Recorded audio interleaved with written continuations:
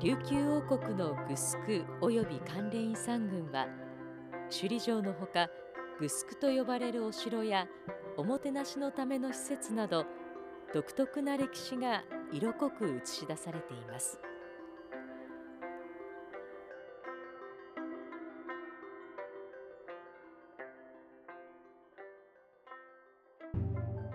日本の三名城の一つに数えられる熊本城。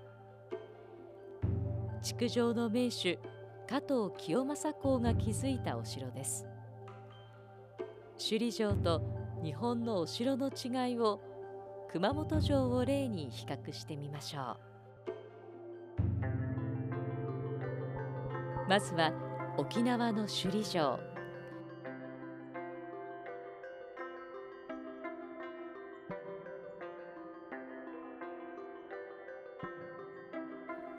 鮮やかな赤が目に留まります。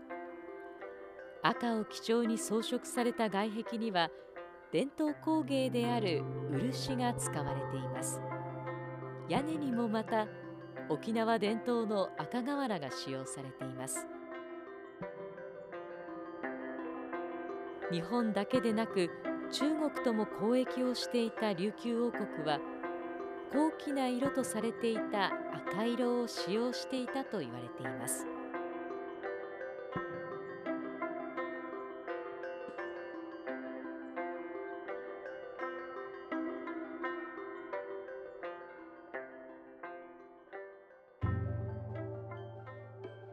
一方熊本城。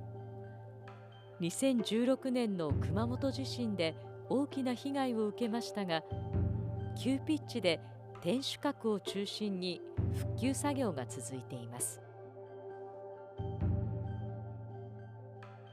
白と黒のコントラストが際立つその姿は街を見下ろす高台に鎮座しています。黒い部分はすや柿渋などが使われており白い部分には漆喰が使われています。お城の黒い部分には防風防火対策の効果もあり漆喰よりも安価で修理しやすいと言われています。違いはその作りにも見ることができます。正殿の前の広大な右南は重要な祭儀を執り行ったり交易の使者たちを迎え入れるための場所だと言われています。右南を挟んで南殿北殿では薩摩藩や中国その他外国からの使者を歓待したと言われています。首里城はまさに交易を重視する琉球王国のおもてなしの城と言えるでしょう。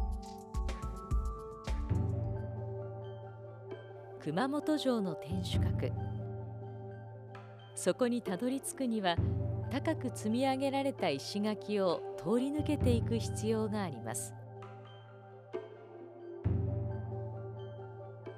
また下の部分は緩やかで上に行くほど勾配が急になる石垣を武者返しと呼び石垣を登る者を阻む作りになっていると言われています。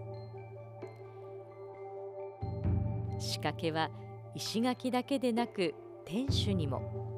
小さな穴から相手を狙う鉄砲様や石垣を登ってきた敵に石や油を投げて攻撃する石落とし。小天守には鋭い鉄串が並ぶ忍び返しなど大天守小天守だけでも防御のための多くの仕掛けが施されています。こうした仕掛けや石垣櫓などの防御の硬さが熊本城を難攻不落の名称と言わせるゆえんです。しかし2016年4月熊本県益城町を震源として最大震度7の強い地震が発生。大きな爪痕を残した地震は熊本城の姿も変えてしまいました。私たち熊本県民のシンボル熊本城の天守閣無残な状態になっています。再建にはこれからどんな道のりが用意されているんでしょうか。不落の名城熊本城の大天守はその形をとどめながらも被害の影響は隠しきれませんでした。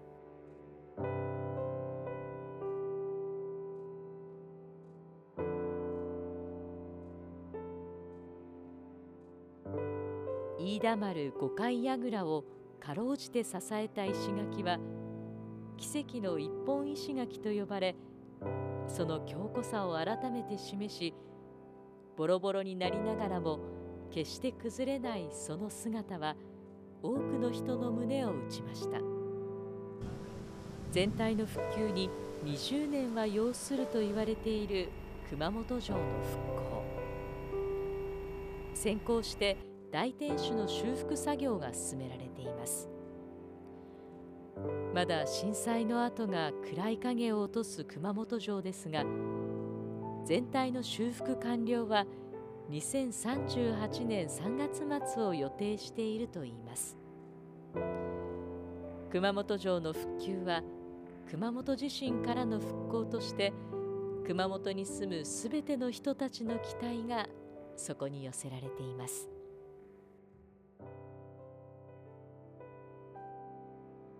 2019年首里城で火災が発生。